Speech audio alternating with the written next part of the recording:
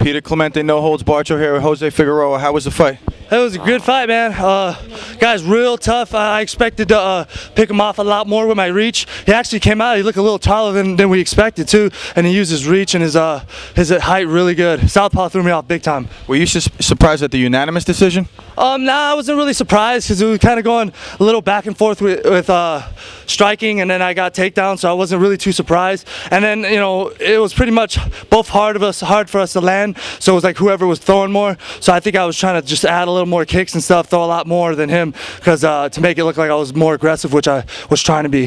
Now you only had three, three and a half weeks of training camp. You were saying in the ring. Yeah, uh, this is my 12th pro fight. I think it's probably the worst shape I have been in. Um, I trained really hard for it. Um, you know, I really trained real hard with my Muay Thai coach and the guys at Orlando and my uh, Jiu-Jitsu MMA coach Paul.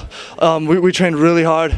Um, I just think a little bit more time. You know, it's pro professional. It's not amateur. He came in great shape.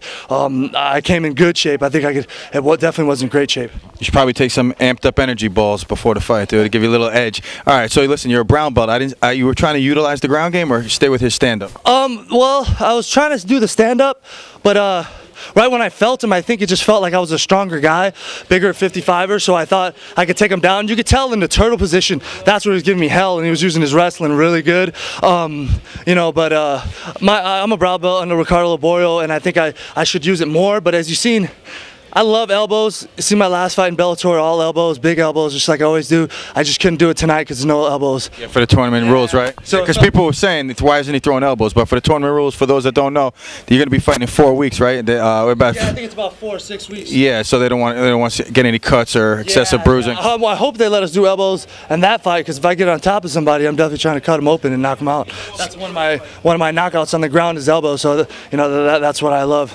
Sounds good, man. Thank you for your time. We look forward to seeing you in the finals. Thanks, guys. Yep, take care.